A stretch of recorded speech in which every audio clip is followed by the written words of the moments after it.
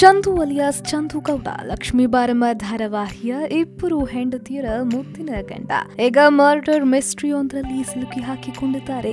ಇದೇನಪ್ಪ ಧಾರಾವಾಹಿ ಮಾಡ್ಕೊಂಡು ಚೆನ್ನಾಗಿದ್ದ ಚಂದು, ಇಂಥ ಕೆಟ್ಟ ಕೆಲಸ ಯಾಕೆ ಮಾಡಿದ್ರು ಅಂತ ಯೋಚನೆ ಮಾಡಬೇಡಿ. ಅಸ್ಲಿಕೆ attempt to murder Chandu Gowda ಅಭಿನಯಿಸಿರುವ ಸಿನಿಮಾದ ಹೆಸರು. ವಿಜಯ್ ಹೇಮಲತಾ ನ್ಯೂಸ್ ರೀಡರ್ ರಮಾಕಾಂತ್ ಆರ್ಯ ಹೀಗೆ ಹಲವರು ಸೇರಿ ಅಭಿನಯಿಸಿರೋ crime suspense thriller cinema attempt to murder ಎಟಿಎಂನಲ್ಲಿ ನಡೆಯೋ ಒಂದು ಕೊಲೆ ಪ್ರಯತ್ನ ಮಾಡಿದ ಕಿಲರ್ನ ಸುತ್ತ ಈ ಮೂವಿ ಸುತ್ತುತ್ತೆ. ಇದರಲ್ಲಿ ಚಂದು ಕ್ಯಾಬ್ ಡ್ರೈವರ್ ಪಾತ್ರ ನಿರ್ವಹಿಸಿದ್ದಾರೆ. ಇನ್ನು ಇದೇ ವಾರ ಸಿನಿಮಾ ರಾಜ್ಯಾದ್ಯಂತ ಬಿಡುಗಡೆಯಾಗಲಿದ್ದು ಕಿರುತೆರೆಯಲ್ಲಿ ಮೆಚ್ಚಿದ ಹಾಗೆ ಬೆಳ್ಳಿ ತೆರೆಯಲು ಜನ ಚಂದೂರನ್ನ ಇಷ್ಟಪಡ್ತಾರ ಅಂತ ಕಾದು ನೋಡಬೇಕು.